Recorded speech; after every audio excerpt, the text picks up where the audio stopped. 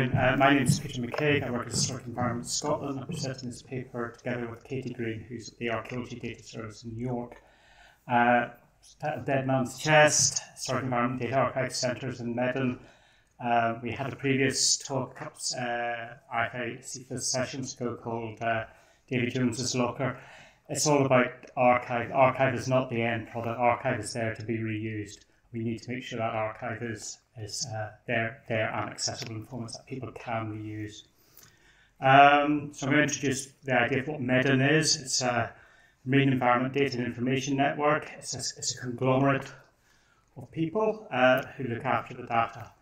So uh, just going back to early marine maritime archives reports from 2007, slipping through the net, identify that mar mar maritime archaeological archives face a bleak future few of any public repositories with the remit or capacity to collect from the marine zone, and a lack of clarity of rules and responsibilities for that process. So some things have changed. Obviously, I'm not going to talk about the physical archive. There are issues about uh, storage of physical archive across the United Kingdom. I'm going to talk about the digital, primarily about the digital archive. Uh, but in Scotland, Historic Environment Scotland is also a paper archive, so we will take paper records on top of the digi digital. Uh, ADS has been going 20 years, 30 years. Uh, so they, they, they're set up, geared up for the long-term preservation of digital data. Historic Environment Scotland is working towards its uh, trusted digital repository status that we meet criteria that ensure that the data is there for the long term for the preservation. And we make our data publicly accessible, or the indexes to the data publicly accessible, like in the Historic Environment Scotland's case. So uh, MEDIN, as I said, it's a partnership of organisations committed to improving access to UK marine data. Uh, it's got 14 sponsor organisations and 50 partnership organisations signed up to uh, promoting good practice and making getting the best value out of the data that's is expensive to collect. It's unique, uh, so you can't go back and you can't repeat that observation.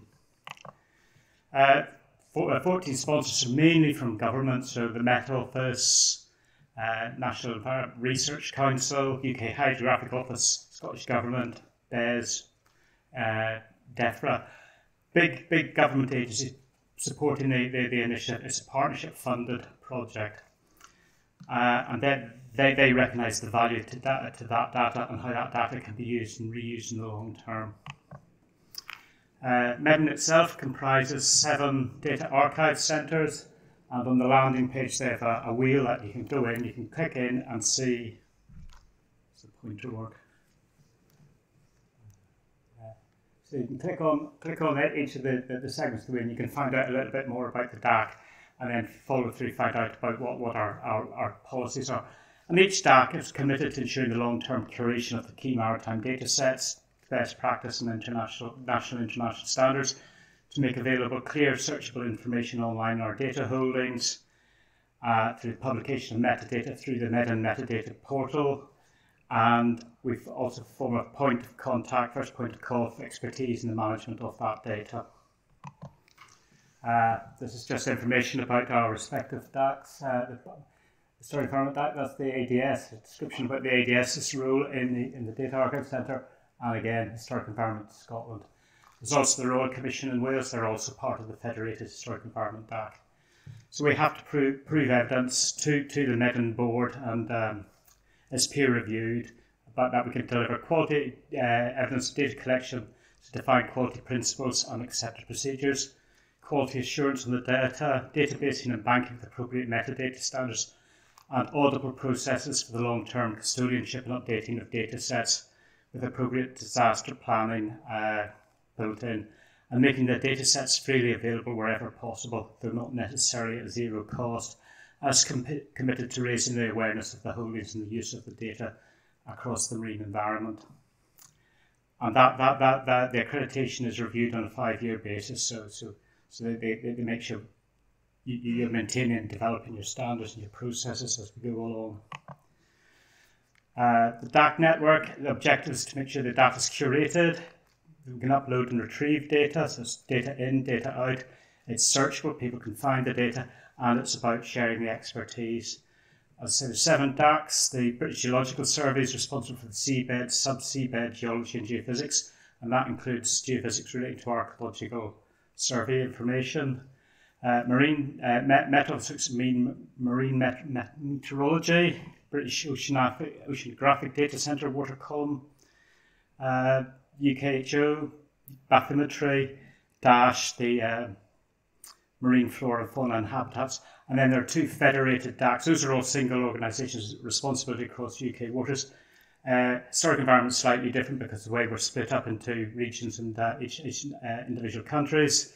So uh, in Wales, the Royal Commission Wales is uh, responsible for the Welsh marine heritage.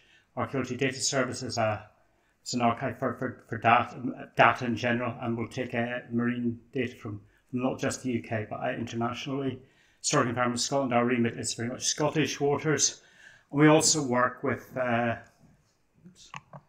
Department of Communities in Northern Ireland, Historic England, who are not accredited DAC. They haven't demonstrated yet that they, they, they meet the, the met criteria, but we're, they're involved in the working group and discussions about how to improve access to marine data. And again, the marine fisheries is a, is a, is a federated uh, data archive centre between Marine Scotland, Cefas and DASSH. And um, key objective is to improve access to and management of UK, UK marine data and information. So it acts as a, MEDIN acts as a hub for marine data, marine standards, and expertise. And the key key message, MEDIN's mantra is measure what measure once, use many times. It's all about making getting the best value out of the data that's collected. The, the, the key way into MEDIN searches is the MEDIN uh, metadata portal, which has just been released, re- relaunched this, this, this year, at the end of last year. Uh, so it contains information about uh, nearly 15,000 marine data sets across all those data archive centres from over 400 UK organisations. You can use a simple uh, search box, just hit and type and hope, Google type search, or you can use a more nuanced uh, filtered filtered search. So you can say, I'm looking for information about cultural heritage, marine archaeology, construction structures, and then it filters down. You can choose different subjects depending how, how the information is indexed. When you enter a search, I've run a, a search just I did a free text search on archaeology data service. This produced our results showing uh, information deposited. Within the top one is uh, an offshore wind farm array um, with a red dot. The red dot means there's no online, no related online archive. You can read about the project, but you can't then find anything more about the, the data. And then the next two are both by Wessex Archaeology, who have deposited with ADS, and there is a related online archives. So you can, you can select a record, take the Rooswijk, and you, you go into the metadata. On, I can't see what the thing is. It's down there. Um, you find out a brief summary about, about, about, the project. You see who the data holder was English Heritage, whether there's an online resource present. It's again the green dot. And you can see the, the geographic extent is marked. Should be marked on that screen, I can't see it.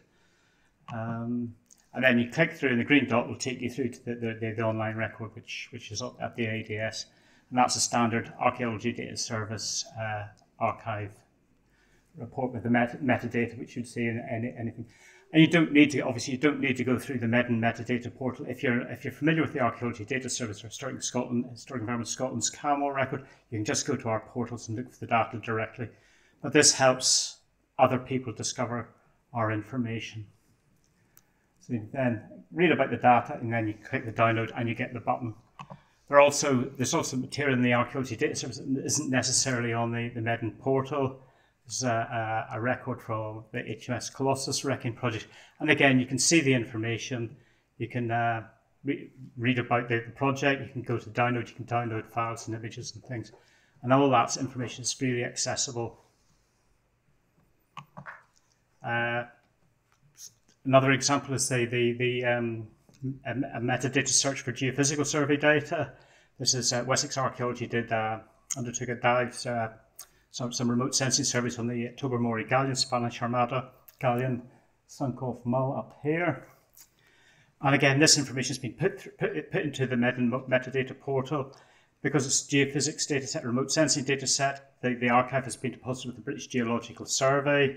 And rather than coming to a structure, we'll have a record saying that Wessex undertook that record in Canmore. but the related resource is at the BGS. So again, you've got the related resource present, click through, and in this case, it's taking you to the, the British Geological Survey GeoIndex offshore data set, database.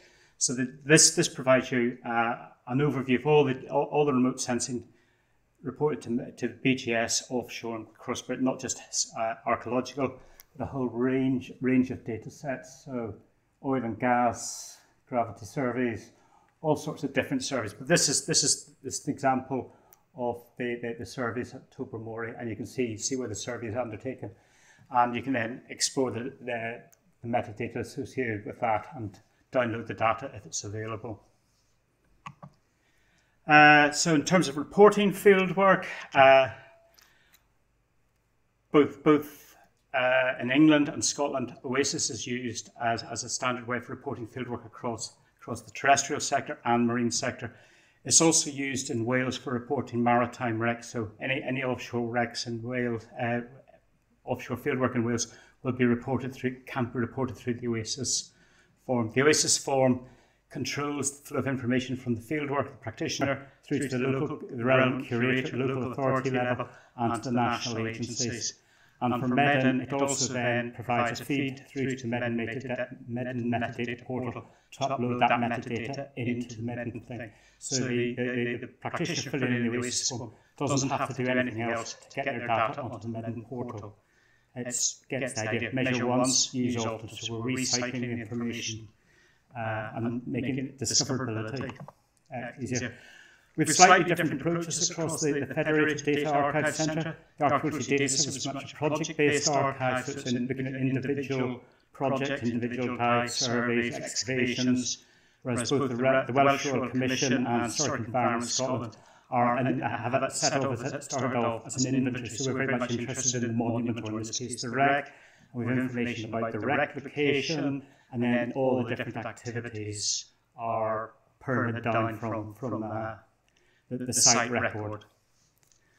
So, yes, this is just a list of all the, all the sort of projects under the ADS catalogue, whereas Canmore, uh, Coflein Wales, you would go in, you'd search for an area, you'd see what wrecks in the area, you get to a landing page about each individual wreck, and then be able to explore what associated collections and events have taken place against that site. And this is an example of uh, the Kinlochbervie wreck in uh, Canmore, which is called standard landing page with a location map, any, any digital images that are available online, and then it's followed by a series of descriptions about the activities that have taken place on that wreck. And each of those activities has its own identifier, so we can then go back and say this, this is a unique re re record in our database. And the archive can be linked to both the site and to the, the event activity. Uh, it's, it's also, as I say, it's an inventory. It's not just about sites. We have a data set of maritime data. We publish that data as a map service on both Canmore and PastMap, which is another portal, map-based portal for uh, archaeological sites across Scotland from historic environment Scotland, the designated sites, but also most of the local authorities, historic environment records published in that. And we, have, we have a maritime data set, uh, maritime Canmore data set. That data set provides the dots locations are, are on mapping.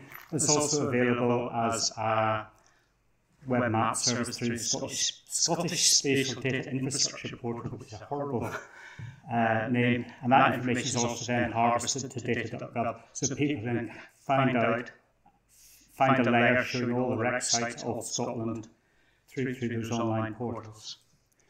We, we, don't, we don't publish separate um, records for the events or the catalogue entries. They're all linked to the site. So the site is the, the key way into the Canmore data set. And then, uh, as well as sort of bringing, uh, maintaining and updating the, the databases with, with, with, with new work, MEDIN provides us access to small project funding. So, uh, Historic Environment Scotland, we were uh, fortunate to get a grant in 2015 to uh, transfer 163 dive, dive tapes, uh, mostly video but some audio, um, related to separate rec, 27 separate wrecks across Scotland. They're on, on VHS format and uh, other formats. They're not, they're not, they weren't secure going forward. Uh, we needed to get them onto a, a media that we could curate, so they, they, they provided uh, funding to, to, to undertake that transfer. And on top of that, um, Archaeology Data Service also gave funding to, to the ADS to, to, to look at uh, Preservation Acts data collected in UK territorial waters from the 4C Discovery Project. Uh, this allowed the ADS to investigate new mechanisms for access to specific data types that had been difficult to disseminate and download by the ADS website up until then. So, so, so it's, it's, enabling us to do new things. And we're, we're not working in isolation. These are problems that are faced by the other data archive centres, so we can share our experience with the other data archive centres. Uh, uh and that's, that's essential for us to, to allow us to develop. Uh, that's me. A bit early.